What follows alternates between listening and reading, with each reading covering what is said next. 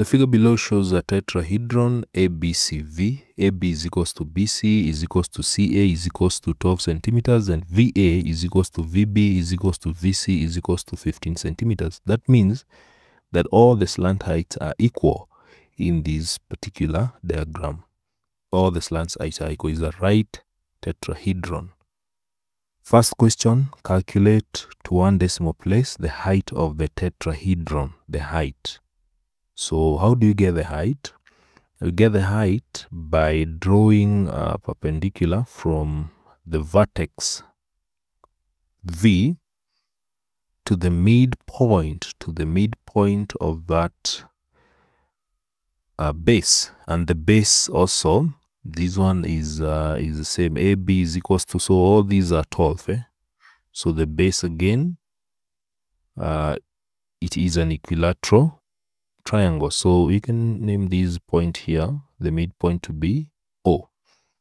So in order to get um, the height, we shall join uh, C to C to the midpoint of that, like that. We join it up to that point, and we shall form a right angle triangle there. So look at that triangle VOC. VOC so triangle VOC is what you're going to use. So we only know VC. Uh, how do we get a CO? CO, um, if we use um, the triangle ABC, we use triangle ABC, we can start by extending, we can extend this line, we can extend this line uh, C, CO until that point there. Uh, but now the problem is, I want you to be very keen here. Uh, I can name this point as N. So this point here is N. So this point uh, from C to O is not equal from O to N. So when we get Cn and then we divide that one by 2, we'll be wrong when you do that. Because O O is not the midpoint of C N. So we need to use um, some other concept here to get CO and you're going to use uh, this concept of the sine rule. Uh, remember the sine rule, A divided by sine A is equals to B is equals to, uh, divided by sine B is equals to C over sine C is equals to 2R. So using these, I can, you can get the radius 2r where r is the radius. I can decide to use um, one of these sides. And since I know that this one is an equilateral triangle and all these angles are 60, all these angles here are 60, is equilateral. Say all the sides are 12 centimeters. So I can use uh, one side being 12 and um, then sine of one of the angles that is a 60 this should give me two radius. The radius in this case will be CO. CO will be the radius. So therefore, if you work out these uh, using a calculator and you make uh, R the subject, R will be 12 divided by 2 sine 60. So the radius will give the radius will give you 4 root 3. 4 root 3. So that is CO. CO. 4 root 3. 4 root 3. Like that. So now having that, we can get the perpendicular height. So we just have the triangle. Now here I can extract it. Can extract it here so that you can have. So this is uh, O this one is V and this one is C. So we have OC, this is a 4 root 3 and then you have these as 15. So we can get the height. So the height therefore, the height will be given by Pythagoras theorem, the square root of 15 squared minus 4 root 3 squared, like that. So this will give the height to be given by, this will be the square root of 225 15 squared then 4 root 3 squared will give 48 and these will give uh, height to be 13.3 centimeters 13.3 centimeters. So that is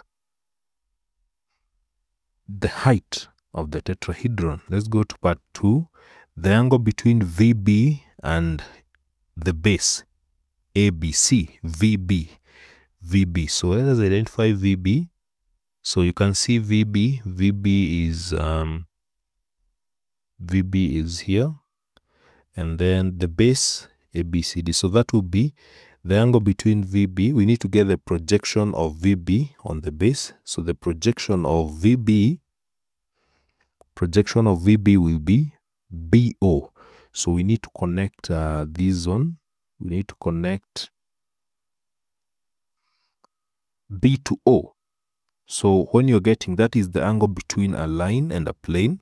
The line is VB and the plane is ABC. So to get that, we normally get the angle between that line, that is VB, and its projection on that plane. And the projection is here. So that is the that is the angle that we need to get.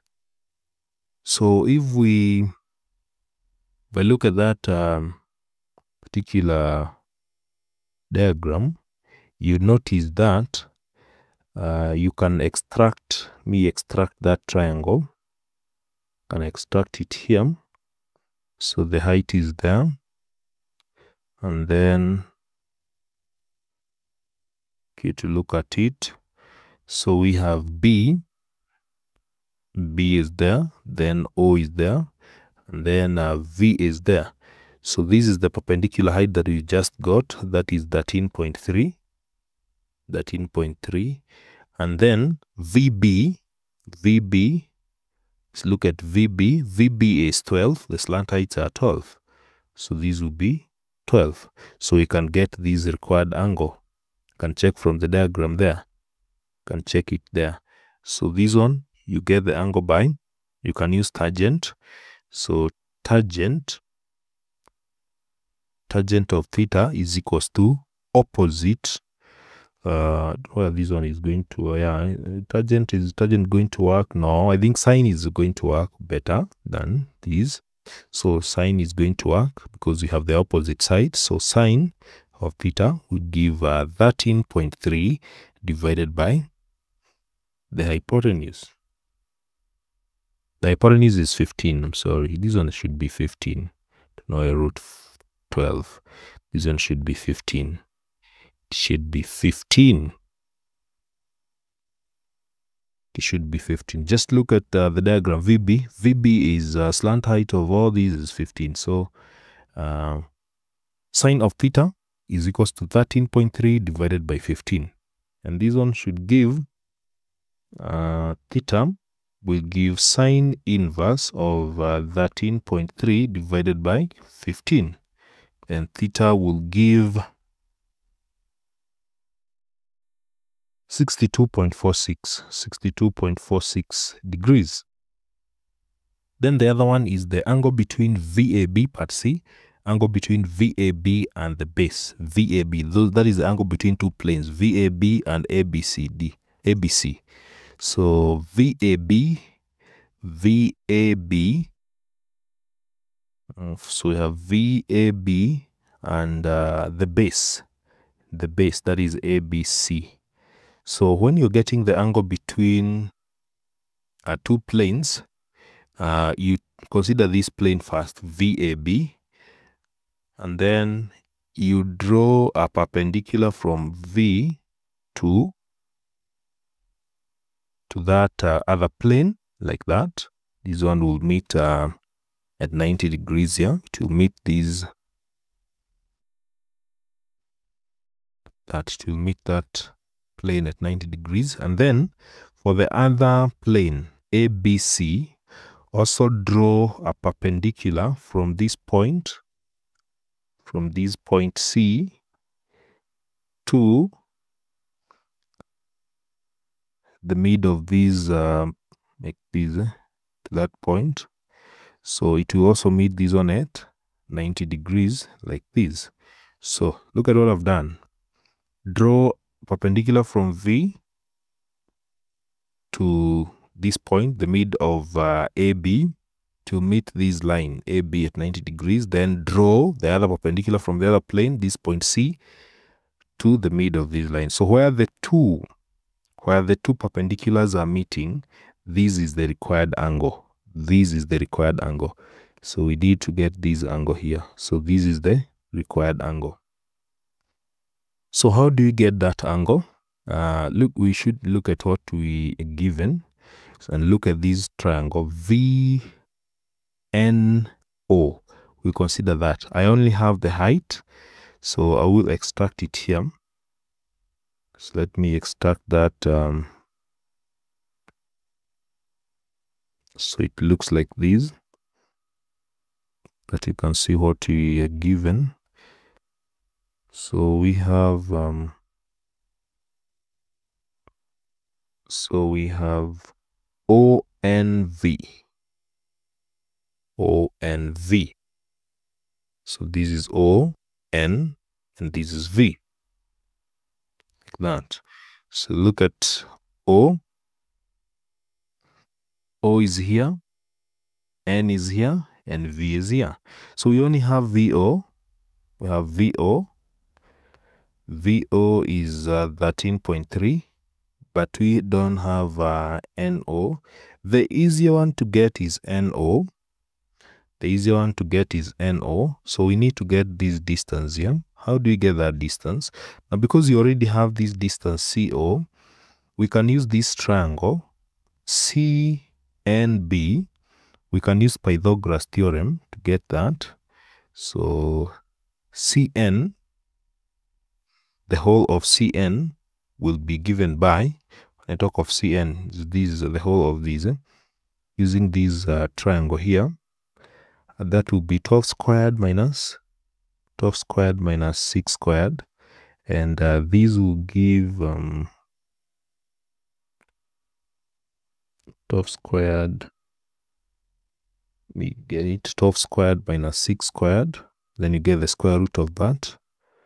So 12 squared minus 6 squared, you get 6 root 3. So this one will give us 6 root 3. 6 root 3. I want you to be very keen here. So Cn is 6 root 3. But we already have CO as 4 root 3. So to get ON, ON, ON, we're going to get 6 root 3 minus 4 root 3. And this will give 2 root 3. Why are we subtracting? Because we already have CO as 4 root 3. That was the radius. We got the radius. And then you have already obtained CN as 6 root 3. So this part that is remaining here, ON, will be given by uh, CN minus CO. That is 6 root 3 minus 4 root 3. And that will give us 2 root 3. So now having that, um, having this one as uh, 2 root 3, 2 root 3 that is uh, ON or NO now we can get the required angle. Remember the required angle is this angle here. This is the required angle between the two planes. And uh, for this one you can use tangent. So tangent of theta is equals to opposite side over the adjacent side.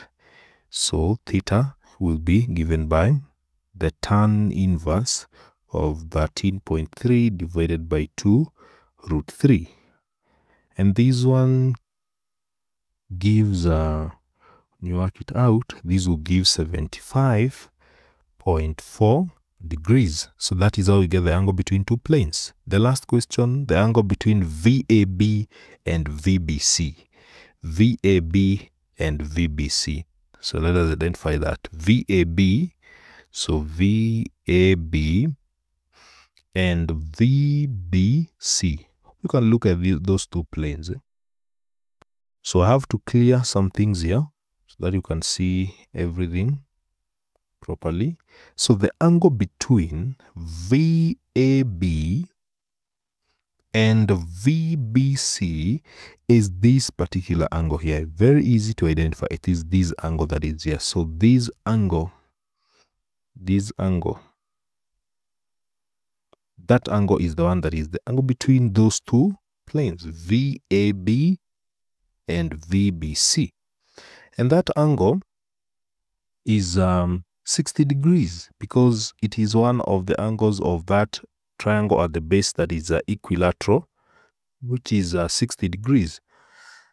But for you to calculate, you can still calculate that because you need to get three marks and uh, show all the methods that we used. We can simply extract that uh, triangle. You can use that, uh, can you can draw it. You can draw it like this because the angle that we need, uh, you can just draw it like that. And uh, this is the angle that we need. That is the angle that we need. So these are BAC. So the BAC. So look at the base, I've extracted them. BAC. So the angle I need is this. And remember these are, this is 12. So this is 12, this is 12. So I can draw perpendicular bisector there. And these will be 6, these will be 6. So I need this angle once I get that angle, I just multiply it by 2. So the whole of angle ABC, we are going to get it by, I can use um, sine. So sine to be twice because uh, you get one angle and then you multiply by 2. You can see the whole of that angle. 2 sine of theta will be given by just multiply is uh, sine of theta which will be opposite divided by the hypotenuse the hypotenuse like that and this will give uh, sine of theta is equals to 0 0.5 so 0 0.5 um, theta will therefore give you sine inverse of 0. Point, uh, this, this will give uh, 30 degrees 30 degrees and you have to multiply by 2 so 2 times 30 degrees, that will give 60. We already knew that it is 60 because it is an equilateral triangle. But uh, for you to hand out these marks, three marks, you, you don't just need to write uh, the answer there. You just need to show the, the workings. So that is how you're supposed to solve that question.